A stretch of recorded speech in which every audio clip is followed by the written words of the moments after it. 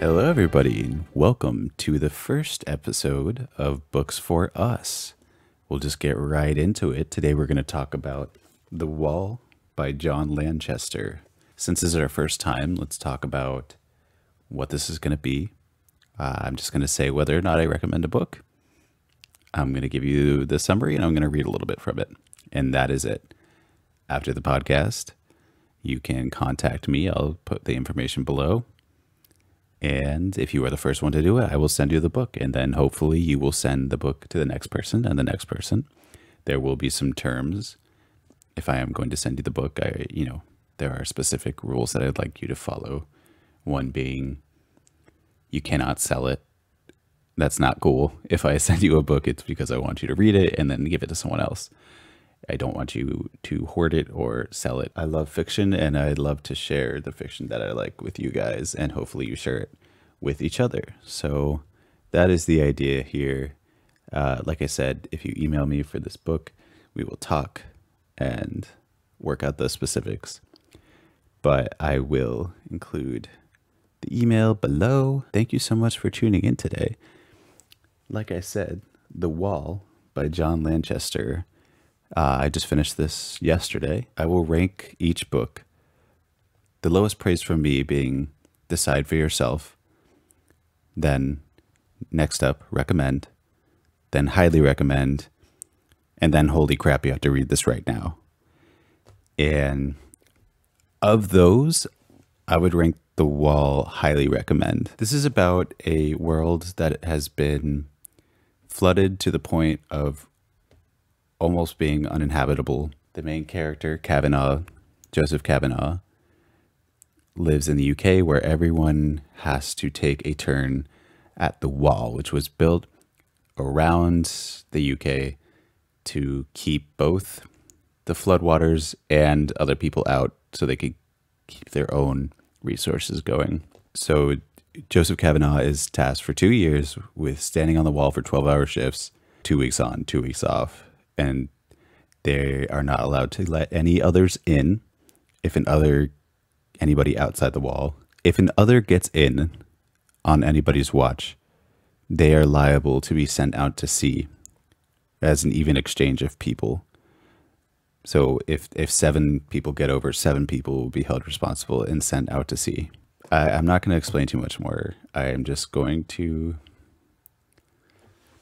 quickly read a bit of an excerpt, just a little bit from the beginning. I do not have permission from John Lanchester, I nor from Norton Books. I that I'm not promoting, selling, whatever. I I just think I like this book, and maybe you will too, and maybe you can send it to someone else who listens. Uh, anyway, so here we go. A little bit of the wall by John Lanchester. It's cold on the wall. That's the first thing everybody tells you, and the first thing you notice when you're sent there. And it's the thing you think about all the time you're on it. And it's the thing you remember when you're not there anymore. It's cold on the wall. You look for metaphors. It's cold as slate, as diamond, as the moon. Cold as charity, that, that's a good one. But you soon realize that the thing about the cold is that it isn't a metaphor. It isn't like anything else. It's nothing but a physical fact. This kind of cold, anyway. Cold is cold is cold. That's the first thing that hits you. It isn't like other cold. This is a cold that is all about the place, like a permanent physical attribute of the location. The cold is one of its fundamental properties. It's intrinsic. So it hits you as a package. The first time you go to the wall, on the first day of your tour. You know that you were there for two years. You know that it's basically the same everywhere as far as the geography goes, but that everything depends on what the people you will be serving with are like. You know that there's nothing you can do about it. It is frightening, but also, in its way, a little bit freeing. No choice. Everything about the wall means you have no choice. You get a little training, but not much. Six weeks. Mainly, it's about how to hold, clean, look after, and fire your weapon. In that order. Some fitness training, but not much. A lot of training in midnight awakening, sleep disruption, sudden panic, sudden changes of order, small hours, test of discipline. They drum that into you. Discipline trumps courage. In a fight, the people who win are the ones who do what they're told. It's not like in the films. Don't be brave, just do what you're told. That's pretty much it. The rest of the training happens on the wall. You get it from the defenders who have been there longer than you. Then, in your turn, you give it to the defenders who come after. So that's what you arrive able to do. Get up in the middle of the night and look after your weapon. You usually arrive after dark. I don't know why, but that's just how they do it. Already you've had a long day to get there walk, bus, train, second train, truck. The truck drops you off. You and your rucksack are left standing there in the cold and the blackness. There is the wall in front of you, a long, low concrete monster. It stretches into the distance. Although the wall is completely vertical, when you stand underneath it, it feels as if it overhangs, as if it could topple over onto you. You feel leaned on. The air is full of moisture, even when it isn't actually wet, which it often is, either with rain or with sea spray splashing over the top. It isn't usually windy immediately behind the wall, but it sometimes is. In the dark and the damp, the wall looks black. The only path or sign or hint for what you should do or where you should go are a flight of concrete steps. They always drop you near the steps. There's a small light at the top in the guardhouse, but you don't yet know that's what you're looking at. Instead, what you mainly think is that the wall is taller than you expected. Of course, you've seen it before in real life and in pictures, maybe even in your dreams. That's the one thing you learn on the wall that lots of people dream about it long before they're sent there. But when you're standing at the bottom looking up and you know you're going to be there for two years, and that the best thing that can happen to you in those two years is that you survive and get off the wall and never have to spend another day of your life anywhere near it, then it looks different.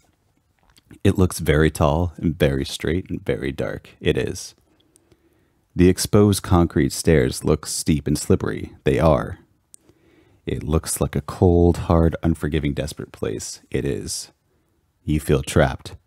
You are. You are longing for this to be over, longing to be somewhere else. You would give anything not to be here. Maybe, even if you're not religious, you say a prayer. Out loud or under your breath, it doesn't matter because it doesn't change anything because your prayer says, please, please, please let me get off the wall. And yet there you are on the wall. You start up the steps. You've begun your life on the wall. Yeah, so that was the first few pages of The Wall by John Lanchester, as I've said. Uh, yeah, I, I highly recommend this. It's, uh, it's pretty high praise. uh, for, for me, I can be kind of snobby when it comes to books. I, I won't get into anything else critically because I want you to decide for yourself and then we can talk about it. But yeah, like I said, if you're interested, please reach out to me and I will send it to you. And then you can send it to the next person and we'll get a little community going on, always sending books to each other. And I, I think it'll be nice. I think it'll be a way to stay together and to have some connection during this time of isolation and yeah, reach out if you have any questions. I will include the email below. Thank you for listening to the first Books for Us. Hopefully, you tune in next time. All right. Thank you so much. Have a great day.